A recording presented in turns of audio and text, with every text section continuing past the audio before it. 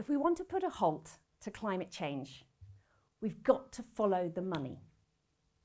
The big high carbon companies spewing out emissions and causing all the issues coal, oil, gas, chemicals, cement, aviation every one of these sectors depends from day to day utterly on banking services and on insurance. And from year to year, they depend for support for their business strategies on big institutional investors that own their shares and get to vote at their annual general meetings on who sits on the boards. Those investors are our pension funds. The truth is that the high carbon industries and the high carbon companies of the world cannot move a muscle without the support of financial institutions that all of us are very familiar with. If you have a bank account, if you have any savings in a pension fund, if you have money with a fund manager, then you have a very real stake in this. And that stake gives you more power than you might have thought to help fix the climate emergency. But we do need to activate our money. Coming up for 20 years ago, I stumbled across the well kept secret that you don't need to be wealthy to mobilise your money and use the power of finance to create positive change in the world. It started for me when I began work as a community organiser in the East End of London, and I was tasked with helping to launch and develop the Living Wage campaign. The national minimum wage is not enough to live on, never has been, especially in London. We wanted living wages with a big, shapeless problem like poverty pay or climate change. You've got to break that problem down into manageable bits.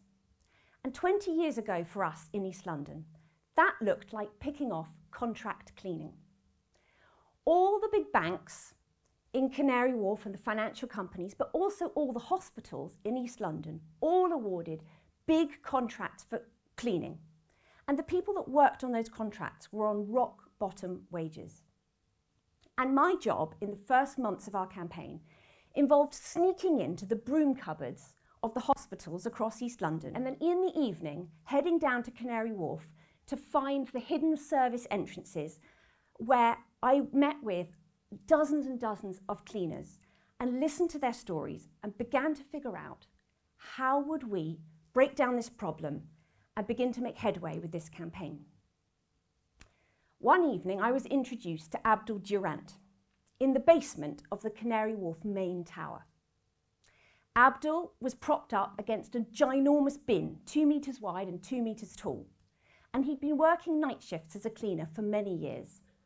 He was very much up for a chat. In fact, Abdul was very much up for some action.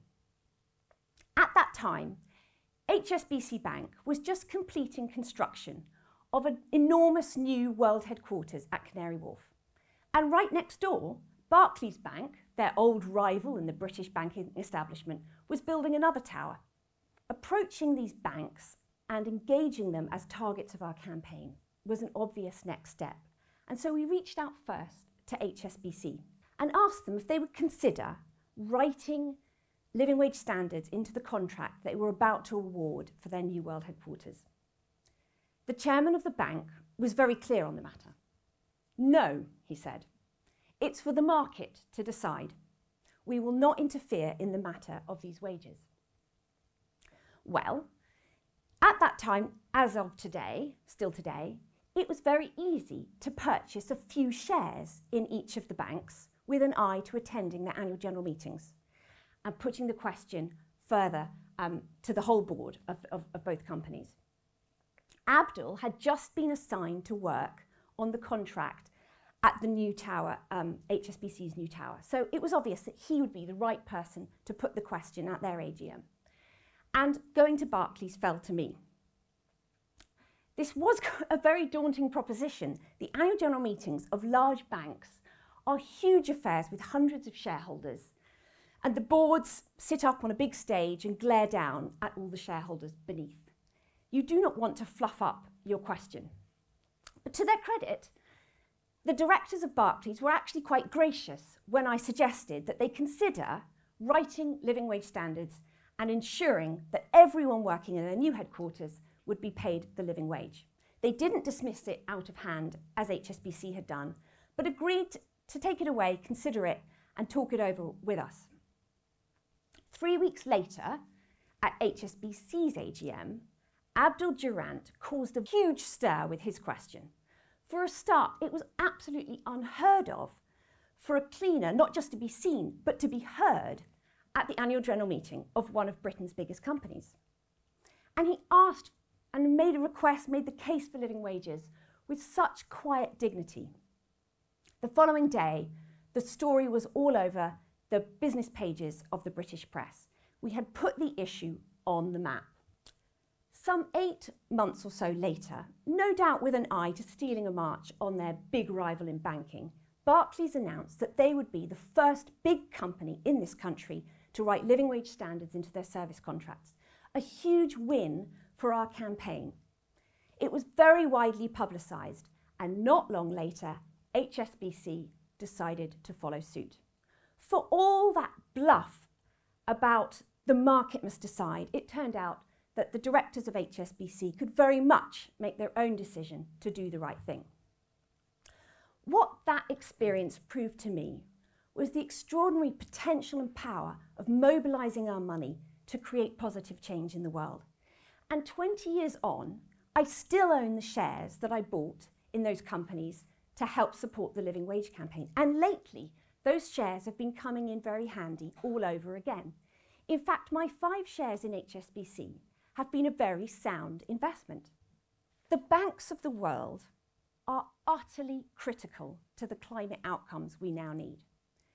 Banks must stop financing the fossil fuel industries, particularly for expansion of new coal, oil and gas.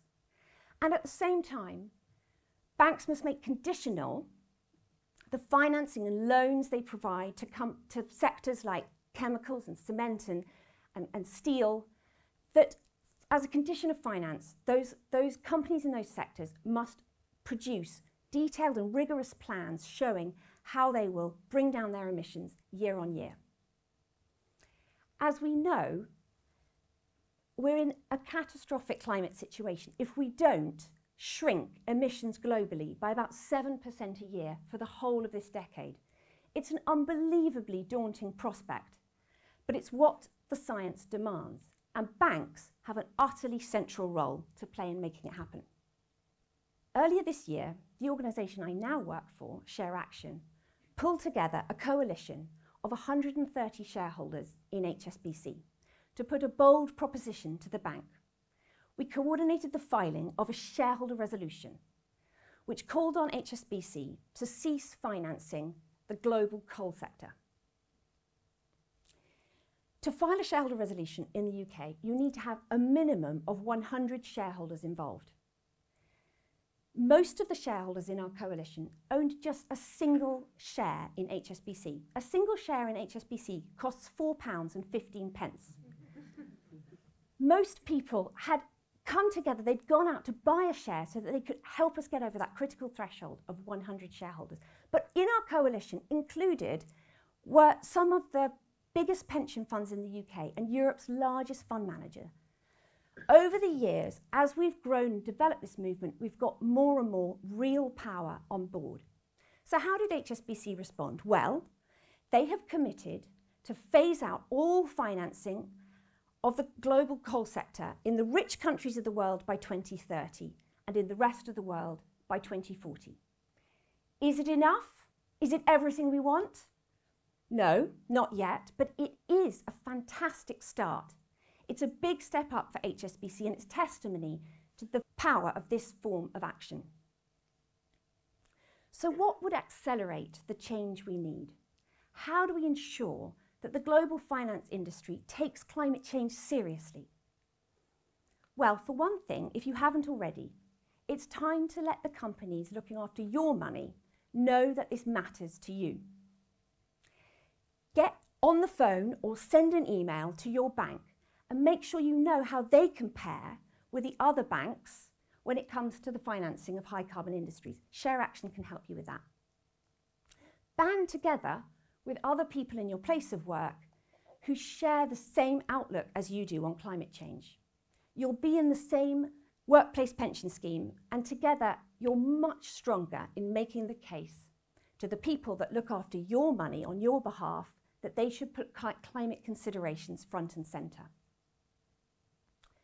What Abdul showed with his question all those years ago was the startling effect of finding your voice and expressing your values in the corridors of financial power. You can do it too. In fact, we need your support. It's time to activate your money.